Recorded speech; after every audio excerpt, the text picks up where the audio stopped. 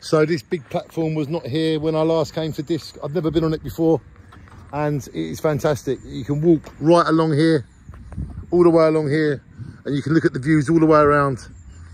And I've been coming here since the late 1980s, the early 1990s and to come here as an adult back to my one of my hometowns. I love Eye, I love Diss and it's great to be back and it's great to share this with all of you. Come along everybody. Don't miss out. Come to Diss. You will miss if you don't come to Diss. Beautiful. Shine on. I absolutely love Diss. I absolutely love... Oh look, someone's put a plaque for someone they love. That is so thoughtful and kind. Beautiful. Cindy forever shines on. We all do. My mum, everyone we love. Brother Butch, you come back with me here. And this is just another fucking, this is just another dimension here, guys.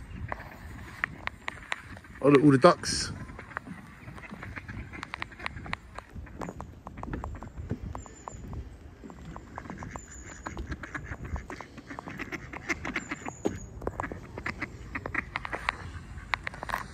Yep less hassle for a duck in it less complications.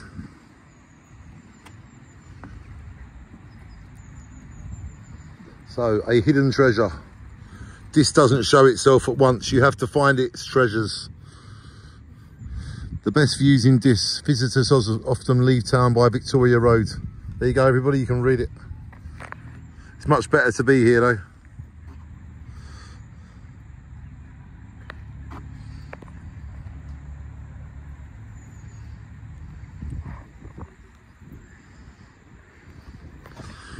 shine on.